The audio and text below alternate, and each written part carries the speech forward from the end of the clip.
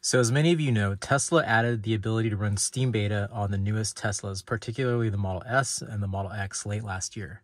And while it's been great, you can basically run any game that you can run on Steam Deck in any other console, whether it's a gaming rig or portable devices.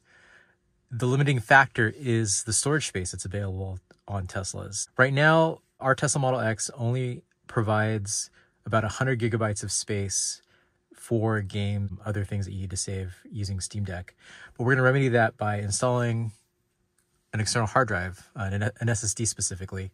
And the one that I have in my hand is a Samsung T7 Shield, which is shockproof, drop-proof, it operates in a wide variety of temperatures, and most importantly, it's far cheaper than the SSD that Tesla sells on its website.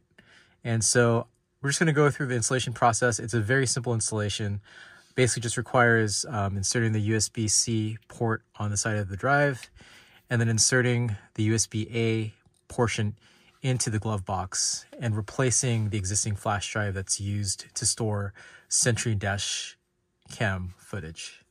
All right, so here's the glove box of the Model X open. As you can tell, this is the factory installed flash drive that's used for Sentry mode and dash cam footage. We're going to remove that and we're going to replace it with our SSD drive. So as I mentioned earlier, this is the USB-A side and it's going to go right into the USB port over here. All right, so there you go.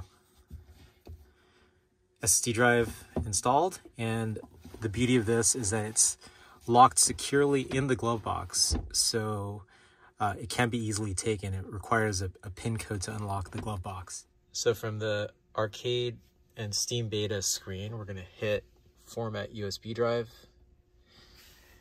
So it's asking us, do we want to format the USB drive for use with Steam, but it's also asking if we want to have a certain amount devoted to dashcam. So yes, we want that. So we're gonna hit format.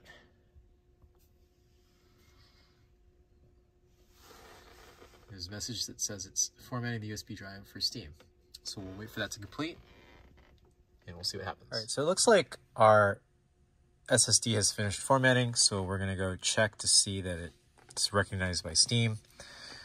And here from the general menu, we're gonna go to storage.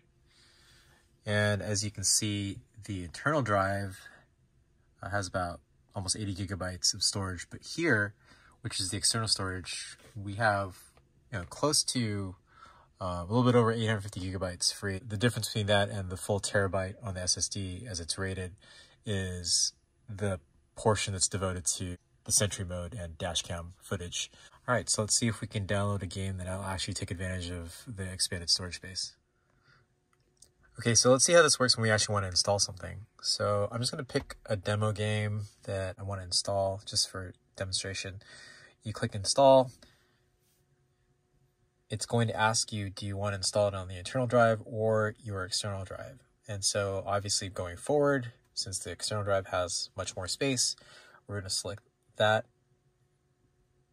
and it's going to install it on the external drive. Well, I hope you found that useful and hopefully adding an SSD drive will vastly improve your Tesla Steam Deck experience. Um, I know it's, I'm looking forward to having a lot more space to install the games that I actually want to play on the Model X. Yeah, let me know if this works out for you. I'll catch you on the next video. Thanks.